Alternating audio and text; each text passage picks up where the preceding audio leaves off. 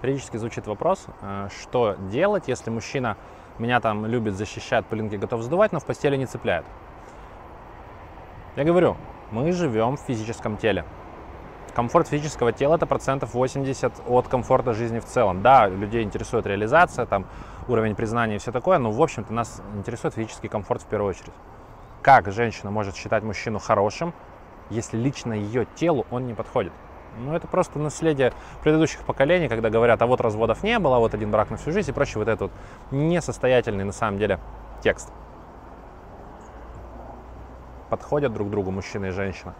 Это и телесное, и их, безусловно, и умственные, там, и психоэмоциональные черты. Но это все подвижно, а вот тела должны подходить. То есть вам должно быть удобно находиться рядом, вам должно быть удобно заниматься сексом. Это вообще определенная даже пропорция там длины костей, там, роста и всего остального.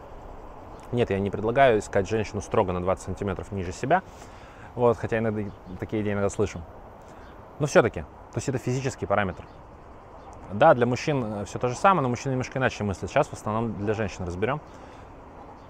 Телу должно нравиться. Но если ум бунтует, чувство разорвано, там, сердце латано, перелатано, а телу там все еще нравится, но тело должно, как сказать, комфорт должен быть.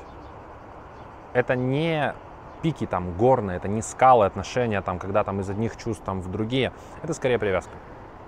Телу должно реально нравиться. Вы, в общем-то, это почувствуете, но для этого нужно иметь здоровые тела. И есть один пунктик, почему я именно сказал, что мы разберем. Тела должны быть здоровые. Если у вас по блокировке там по 5 штук у него, у нее, если вы ходите на несколько сантиметров ниже своего роста, если ваше кровоснабжение работает на 50% от максимума, вы встретившись нос к носу, вот так вот будете за столом сидеть, вы не почувствуете телом сходства, вы не почувствуете связи. Вы даже не будете замечать, что вас жизнь может сталкивать, хотя это один из критериев ну, того, что жизнь одобряет отношения. Поэтому я говорю для здоровых, отремонтированных тел и для прибранных умов. То есть если в уме у вас там, допустим, наставление бабушки, э, наставления там какие-нибудь духовные с вашим собственным мнением, и все они конфликтуют, то нужно как-то прибираться. И вообще есть формула. Сначала вы налаживаете отношения с собой. Формула, в общем-то, справедливая для мужчин и женщин, но женщина больше важна. Сначала вы налаживаете отношения с собой, потом со своей жизнью, и только потом приходит мужчина-женщина. Понимаете, вот в таком порядке. Каждый этап может занять, ну, он может занять месяцы и иногда даже годы.